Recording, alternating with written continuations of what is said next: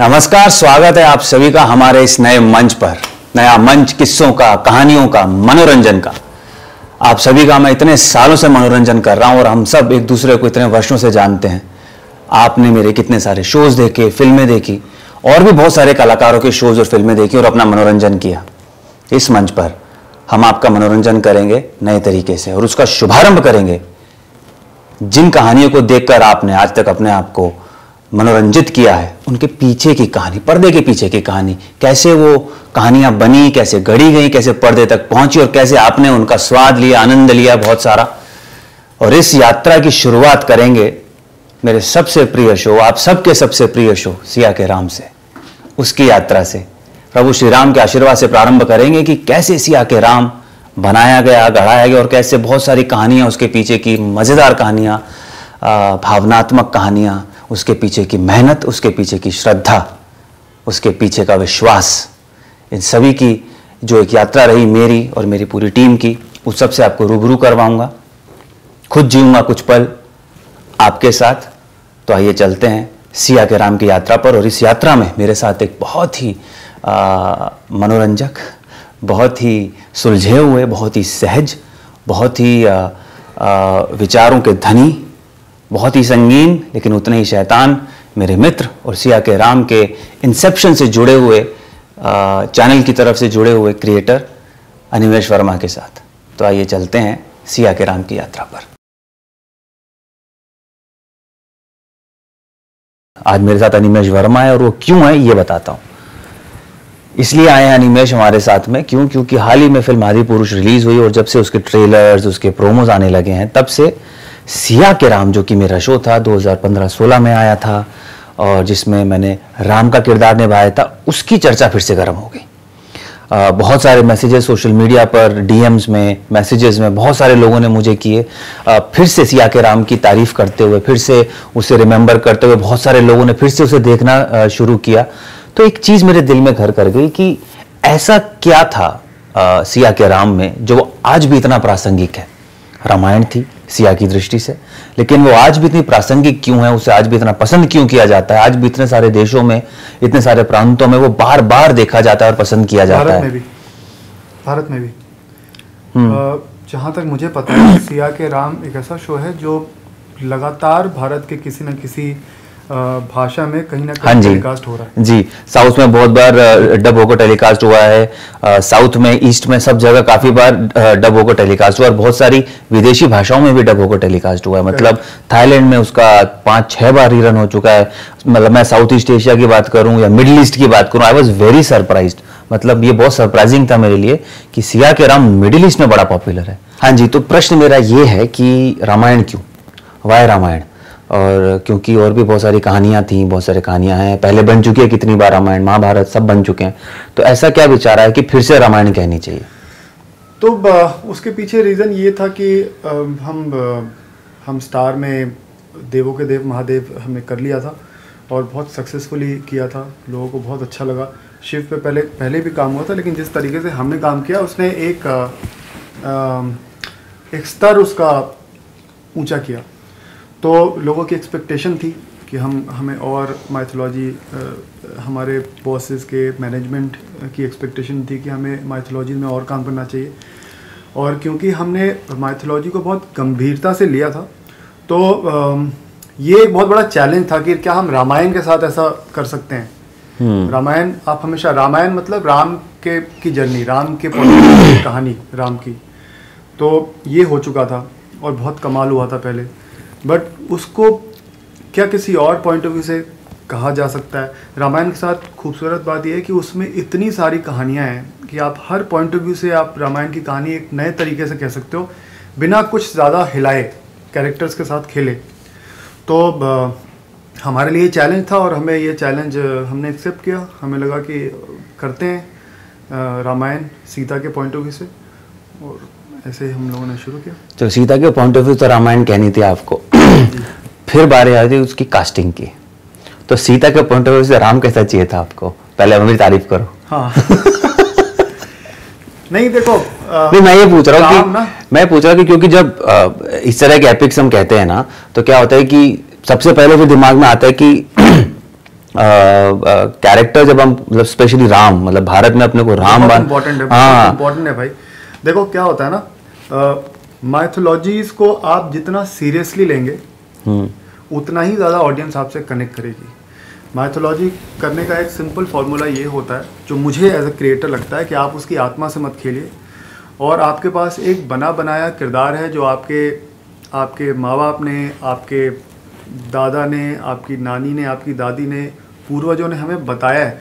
और हम एक एक संस्कार लेके आगे बढ़ते हैं। पता है कि हमारे राम ऐसे हैं। हमारे पता है कि एक जो राम है कमल नयन है।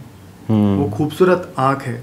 राम इस दुनिया के सबसे खूबसूरत हम्म, मनुष्य हैं। हम्म, उनके चेहरे पे इतनी शांति और इतना कामनेस है कि आप उसको उसके चेहरे को देख के अपना दुख भूल जाते हैं।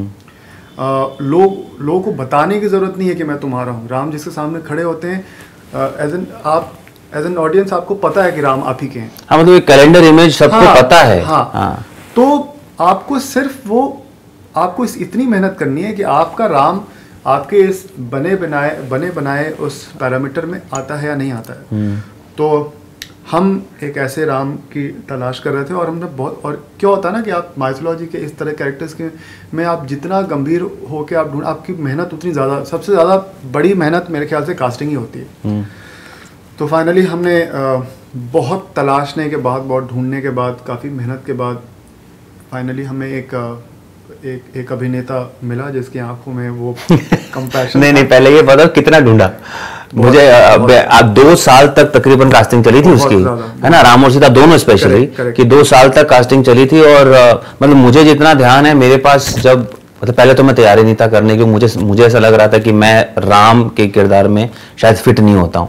तो मुझसे बात होने मेरा सवाल तुमसे ये है कि तुम्हें ऐसा क्यों लगा कि राम के किरदार में तुम फिट नहीं होते हो? क्योंकि अ, हमें ये लगता था कि तुम हर तरीके से राम के किरदार में फिट होते हो। रीजन जैसे मैंने बताया कि एक एक ऐसी छवि एक ऐसा चेहरा जिसमें बहुत सौम्यता है बहुत शांति है। आशीष शर्मा के चेहरे में वो चीज़ थी उसकी आँखों में वो कंपैशन था वो प्रेम दिखता था और उस प्रेम के साथ दर्द दिखता था। आप किसी और के दुख को वो तो मैं शादीशुदा हूँ ना इसलिए दर्द तो दिखेगा ही दूसरा कि दूसरा कि वो जो एक आत्मीयता होती है पूरी उस पूरी छवि में जो आत्मीयता आत्मीयता होती है वो हमें तुम्हारे अलावा और कहीं नहीं देखा।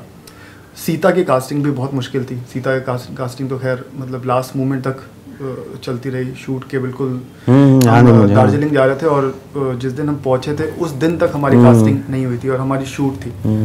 तो बहरहाल तो इस तरह से हमने और ये रीजंस थे हमें हम नहीं मैं ये पूछा चाहता हूँ लोगों को बड़ा उत्सुक उत्सुकता है जानने में कि मुझे खुद है जानने में। हम जब वो पूरा प्रोसेस कर रहे थे तो मतलब जितना मुझे समझ में आया कि जब मुझे अप्रोच किया गया था उसके भी डेढ़ साल पहले से कास्टिंग चल रही थी आ, कि और हो नहीं पा रही थी इनफैक्ट राम की स्पेशली कास्टिंग बहुत सारे एक्टर्स बहुत सारे लोगों से बातचीत हुई थी और जब मुझे आ, निखिल जी ने मुझसे मुलाकात की भेंट की उस वजह से मैंने आपको बोला मैं तो मुझे ऐसा लगा और वो ऐसे ही थे कि आ, कि मैं रामायण कर रहा हूँ तू मेरा राम है तो तुझे करना है। मैंने कहा मैं आपको मैं आपको क्यों राम लगता हूँ? तो देन ये आई शेयर ऑफ़ जो आपने मुझे दिए वो रीजन सेम उन्होंने दिए कि you know there is truth in your eyes और वो सच्चाई है तेरी आँखों में और आत्मीयता है प्रेम है कामनेस एंड ऑल दैट निजी ज़िंदगी में मैं वैसा बिल्कुल नहीं हूँ। इसलिए मुझे ऐसा लगता था कि मैं किस किरदार में फिट नहीं होता हूँ। क्यों? क्योंकि मैं बहुत पैशनेट तो हूँ पर मैं उतना ही मेरा पैशन ना बहुत अग्रेसिव पैशन है। वो ऐसा पैसिव अग्रेसिव नहीं हूँ मैं अग्रेसिव पैसिव हूँ तो ये तो अच्छा है पैशनेट हूँ। ये तो ये तो बताता है तुम कितने अच्छे एक्टर हो। तो मुझे उस वक्त ऐसा लगता था कि ना कि जो मुझे अपने अंदर एक एक्शन हीरो दिखता है। है ना? जैसे कि उसके पहले रोल भी मैंने वैसे किए थे वो चंद्रगुप्त तो, तो वॉरियर जब बात आती है तो हाँ मुझे लगता है कि हाँ वो मैं कर सकता हूँ। पर जब हम राम के चरित्र की बात करते हैं तो वो मुझे ऐसा लगता था कि मैं उससे बहुत दूर हूँ।